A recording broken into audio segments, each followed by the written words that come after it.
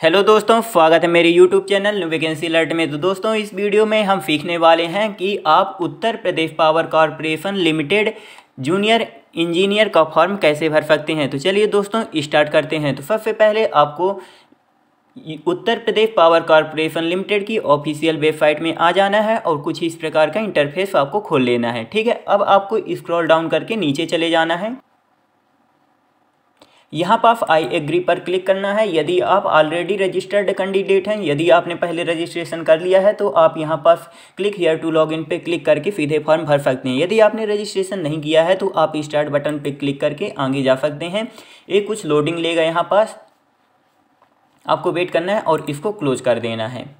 ठीक है? अब आपके पास एक पेज आ जाएगा। तो आपको यहाँ पास पोस्ट सिलेक्ट करना है तो जूनियर इंजीनियर ट्रेनिंग सिविल ठीक है, यहाँ पास पोस्ट कोड अपने आप भर जाएगा।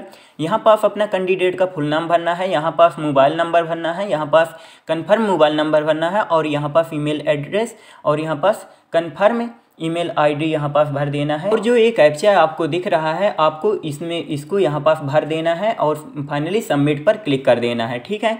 और आपके पास क्या आएगा? एक पासवर्ड आएगा, आपके कॉन्टैक्ट नंबर पे आएगा या जीमेल आईडी पर तो आपको उसको सेव कर लेना है और लिख कर जब आप सबमिट पर क्लिक करेंगे तो कुछ इस प्रकार का इंटरफेस खुलेगा और आपको यहाँ पास से अप्लीकेशन नंबर मिल जाएगा।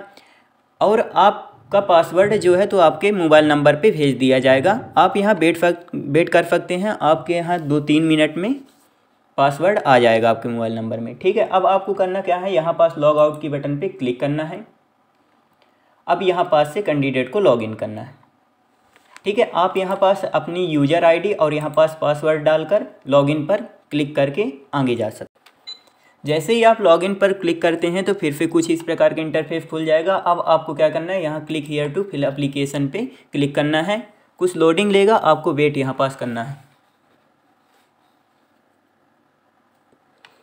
फिर इसको क्लोज कर देना है।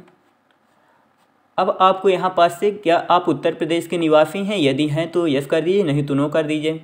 ठीक है, यहाँ पास से आपको जेंडर सिलेक्ट करना है। यहाँ पास से कैटेगरी यहाँ डेट ऑफ़ बर्थ आपको सिलेक्ट करनी है। तो आपको यहाँ पास से have you completed apprenticeship under the apprenticeship act 1961 यदि आप यस करते हैं तो आपको यहाँ पास स्टार्टिंग डेट भरनी है और यहाँ पास इंड डेट भरनी है कि आपने किन किन तारीखों के बीच अप्रेंटिसशिप ट्रेनिंग की है। ठीक है, यदि आपने नहीं की है तो नो कर दीजिए यहाँ पास। और आपको यहाँ पास पर्सनल डिटेल अब क्लिक करना है, ठीक है? अब यहाँ पास फादर्स नेम भरना है, यहाँ पास मदर्स नेम यहाँ पास अपना स्टेटस देना है, ठीक है? और यहाँ पास नेशनलिटी यहाँ पास अपना आधार नंबर भरना है। कॉन्टैक्ट डिटेल भरी रहेगी, आपको यहाँ पास से एड्रेस लाइन भरना है, ठीक है? और यहाँ से स्टेट जिस स्टेट से आप बिलोंग करते हैं, आप यहाँ भर दीजिए कंट्री यहाँ पास सिलेक्ट कर दीजिए। डिस्ट्रिक्ट आपको यहाँ पास सिलेक्ट करना है और आपको यहाँ पास से पिन कोड भरना है। ओके?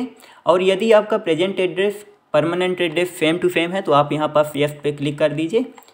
और यहाँ सेव और नेक्स्ट की बटन पे क्लिक करके आगे जा सकते हैं ऐसे ही आप सेव और नेक्स्ट पे बटन पे क्लिक करेंगे, आपका क्वालिफिकेशन डिटेल वाला ऑप्शन इनेबल हो जाएगा। अब आपको यहाँ पास टेंथ की जानकारी यहाँ पास भरना है और आपको यहाँ पास ट्वेल्थ की जानकारी तो टेंथ में यहाँ पास अपने बोर्ड का नाम भरना है यहाँ पास किसी स्कूल का नाम भरना है यहाँ पास सब्जेक्ट कॉम्बिनेशन यहाँ पास भरना है ईयर ऑफ़ पासिंग यहाँ पास आपको भर देना है ठीक है यहाँ पास परसेंटेज मार्क्स कितने हैं आपके वो यहाँ पास भर दीजिए ठीक है यहाँ पास ट्वेल्थ की जानकारी देना है आपको यहाँ पास name of board institute school का नाम यहाँ पास सब्जेक्ट कॉम्बिनेशन यहाँ पास भर दीजिए ईयर ऑफ़ पासिंग यहाँ से सिलेक्ट कर लीजिए किस साल आपने पास किया परसेंटेज ऑफ़ मार्क्स यहाँ सिलेक्ट भर दीजिए, ठीक है? अब यहाँ पास से आपको डिप्लोमा डिटेल्स देना है। यहाँ पास फिर डिग्री का नाम यहाँ पास से सिलेक्ट करना है आपको, ठीक है?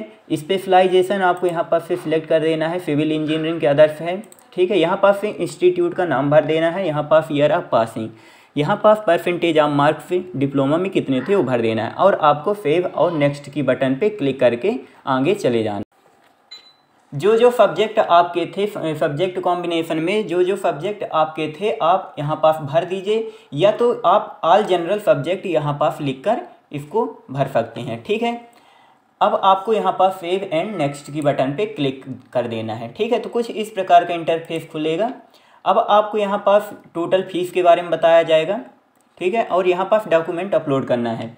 यहाँ पास से आपको क्लिक हियर टू अपलोड करना है फ़ोटो और यहाँ पास से क्या सिग्नेचर अपलोड करना है। तो फ़ोटो अपलोड करने के लिए आपकी जो फ़ोटो होना चाहिए तो सौ के बी से ज़्यादा नहीं होनी चाहिए।